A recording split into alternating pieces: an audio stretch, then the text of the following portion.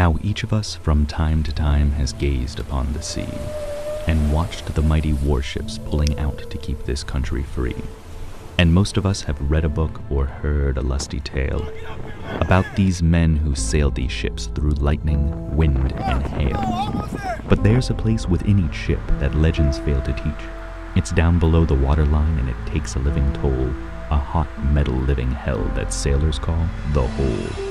It houses engines run with steam that makes the shafts go round, a place of fire, noise, and heat that beats your spirits down.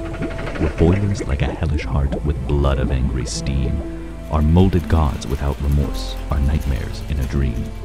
Whose threat from fire's roar is like a living doubt that at any moment with such scorn might escape and crush you out. Where turbines scream like tortured souls alone and lost in hell, are ordered from above somewhere, they answer every bell. The men who keep the fires lit and make the engines run are strangers to the light and rarely see the sun. They have no time for man or God, no tolerance for fear. Their aspect pays no living thing a tribute of a tear. For there's not much that men can do that these men haven't done, beneath the decks, deep in the hole, to make the engines run.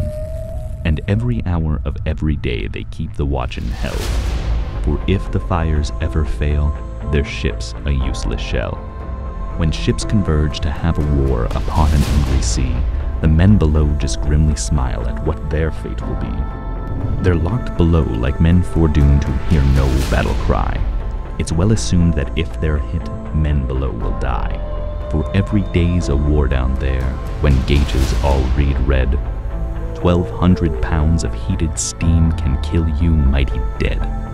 So if you ever write their songs or try to tell their tale, the very words would make you hear a fired furnace's wail. And people, as a general rule, don't hear of these men of steel. So little heard about this place that sailors call the hole. But I can sing about this place and try to make you see the hardened life of men down there, cause one of them is me. I've seen these sweat soaked heroes fight in superheated air to keep their ship alive and right, though no one knows they're there. And thus they'll fight for ages on till warships sail no more, amid the boiler's mighty heat and the turbine's hellish roar. So when you see a ship pull out to meet a warlike foe, remember faintly, if you can, the men who sail below.